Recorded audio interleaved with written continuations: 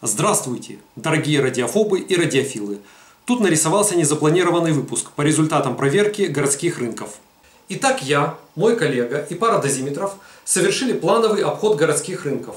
На первом из них, кроме пары тумблеров, ничего интересного не нашлось, зато второй рынок порадовал.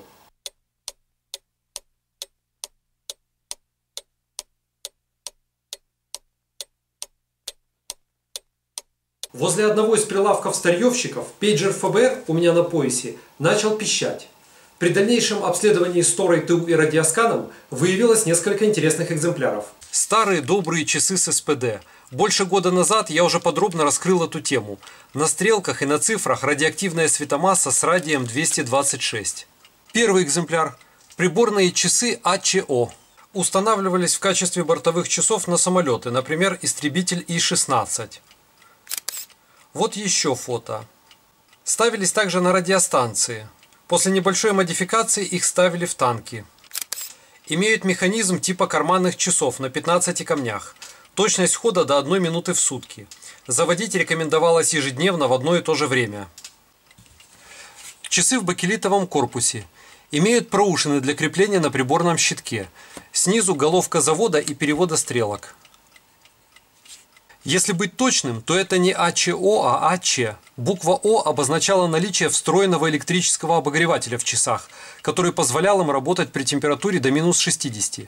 Контакты этого обогревателя выходили в эти гнезда. Тут их нет. Такой вариант назывался АЧ. Хотя осталась надпись 26,5 вольт, питающее напряжение для обогревателя.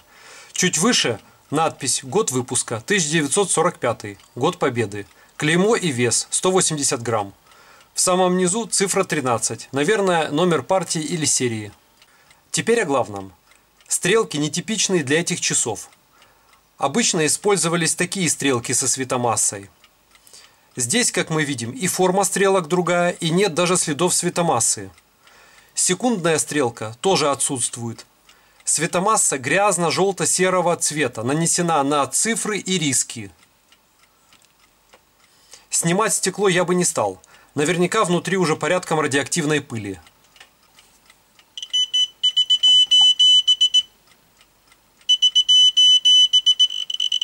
При замере радиосканом гамма плюс бета 1,3 миллирентгена в час.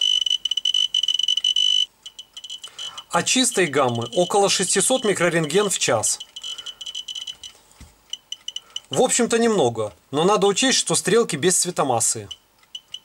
Следующие два экземпляра. Часы Москва. Ориентировочно 50-е годы прошлого века.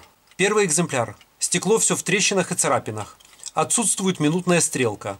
Светомасса на часовой стрелке высыпалась и болтается где-то внутри корпуса.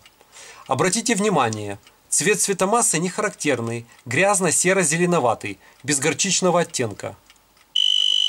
Этот инвалид с одной стрелкой показал нам около 5 миллирентген условно, гамма плюс бета. А вот это, похоже, его младший братик. Судя по дизайну, более поздний выпуск, тоже Москва, 16 камней.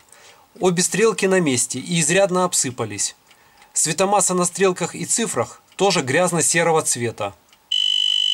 А здесь уже существенно, около 9 миллирентген гамма плюс бета. Да, в ранних выпусках светомасса реально злая была. И, наконец, третий экземпляр – Честно говоря, даже не знаю, что это такое. Циферблат явно не родной, с надписью «Ракета Де Луне». Лунная ракета? На цифрах и рисках светомассы нет, обычная краска. А вот на стрелках имеется. Вообще тоже очень похоже на Москву с переставленным циферблатом. Хотя светомасса только на стрелках, фон довольно злой. 7,3 миллирентгена в час условно гамма плюс бета.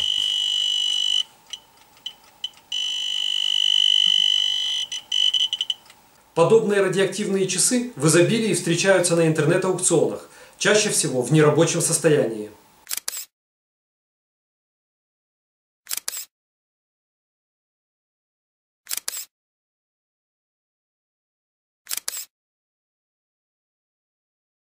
Если вы пороетесь дома в дедовских шкатулках, то наверняка найдете нечто подобное. Пока данные часы не разбираются, они не опасны. Несмотря на грозные показания дозиметров, уже на расстоянии 15-20 см фон также не представляет опасности. Несколько лет назад один шутник поместил фотографию своего запястья с красным кругом на месте ношения часов и заявил, что это лучевой ожог от радиоактивной светомассы на циферблате. При ближайшем рассмотрении ожог оказался фейком, нарисованным помадой. Не ведитесь на такой бред. Часы с СПД не могут вызвать лучевой ожог или лучевую болезнь. Излучение практически полностью гасится в стальном корпусе. Тут зрители еще спрашивают, что это у меня тикает там за кадром. Сейчас покажу. Будильник Сивани. Принесли клиенты, испугавшись горчичного цвета светомассы. При замере оказалась обычная нерадиоактивная СВД. Но будильник не забрали, и он прижился у меня на столе. Так и тикает за кадром.